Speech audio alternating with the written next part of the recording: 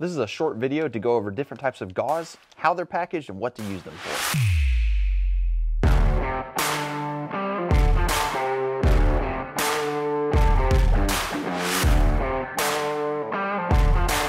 So this is a short video to run over a couple different types of gauze that we use in our kits.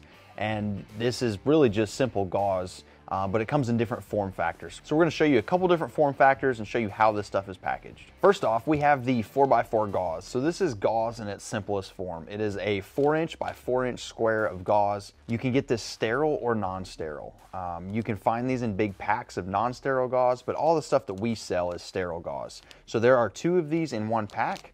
To open them, they have a little spot on the top if I can get to it, where you can peel these open. The easiest way to get into these is simply to take the edge, tear it, and then pull your gauze out from inside.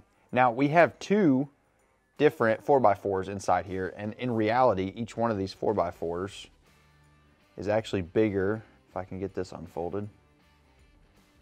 So it's a four ply. So they take this long section, it gets folded over on itself four times, and then that is now four inches by four inches, and this is one four by four gauze. So there are two of these in each package. So this four by four gauze would be placed directly on a wound.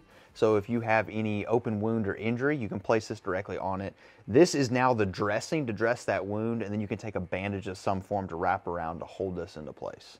You would use these 4x4s when it's a smaller wound, when there's not a ton of bleeding, um, just because they don't have the ability to absorb a lot of blood just because of how thin they are. Stepping up from there, we have combine pads. So this combine pad is a 5 inch by 9 inch pad. And same thing like the 4x4s, we're just going to tear this open and slide this out.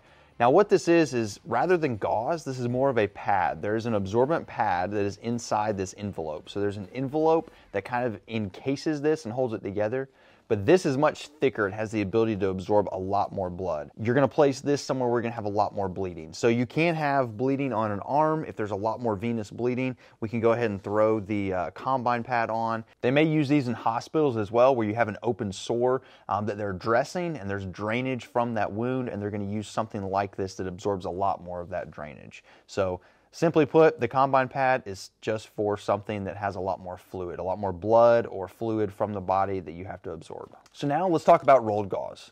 We have two different main types of rolled gauze, and you can see there's quite a size difference between the two. So let's start with the smaller one. The smaller one is a conforming stretch gauze. So there's a lot of stretch and a lot of play in this gauze. It will hold dressings in place, but it's not gonna have as much bulk as the larger roll for absorbing a lot of fluids. This one, you're not gonna be able to tear as easy because the back is plastic, but again, this is sterile as long as this container is not opened. So let's go ahead and open this up. And here is our roll of gauze. As you can tell, it's a uh, pretty tight weave, so there's not a lot of holes in here. It does stretch a fair amount. So this is great for placing on a dressing because you have a lot of stretch, so it's not gonna cut off circulation. It's pretty comfortable for that patient as well. This is the most common gauze that we put in our kit simply because of its size. It's three inches this way, and when it's unraveled, it's just a little over four yards long. For severe bleeding, you can also use this to pack a wound. So you can take the end and you can simply unravel it and work off the end, or you can pinch in the middle, pull the middle of this roll out, and then pack your wound and just feed it in the wound from there. So two different ways that you can utilize this smaller roll of gauze to be able to pack a wound. Last but not least, we have the crinkle gauze roll, or as a lot of people refer to it as Kerlix. So same thing, we have plastic on the back, so we'll open this up and peel it. Sterile unless the package is damaged. So now we have our sterile gauze roll. So you'll notice this gauze roll is a good bit bigger than that previous gauze roll.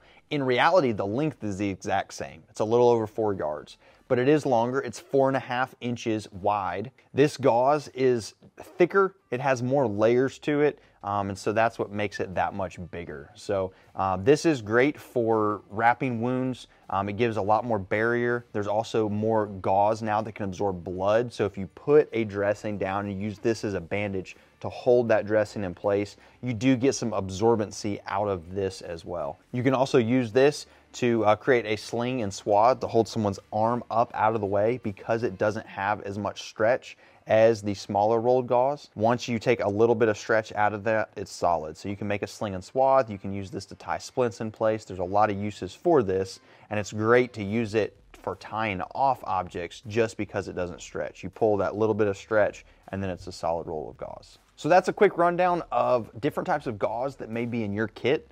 You can find all this gauze on our website, and this is also the gauze that we pack in our kits that we also sell on our website at sixechosystems.com. Hope this video was helpful in explaining the different types of gauze that may be in your kit, and as always, stay vigilant and stay safe.